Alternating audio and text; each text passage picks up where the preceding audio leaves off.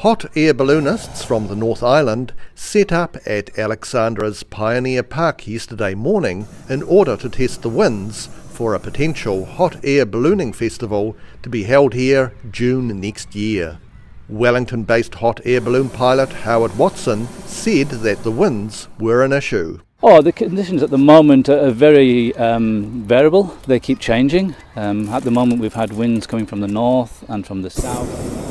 Um, all, all within a, a short period of time. So um, obviously that's a, you know, a big issue when you're flying because you don't want to be flying out of town in the wrong direction because there's nowhere to land. And uh, so landing is a big part. We've got to make sure that we are able to land in a safe place so that the vehicles can actually get to us. Watson said that once they were confident about wind direction, they had some good trips planned out. Well, if it's a southerly, then we could take off from here and we could fly right up the valley. Uh, that's the idea. Uh, in a northerly, we'd probably take, drive up the valley and then fly back and fly back to Alexandra.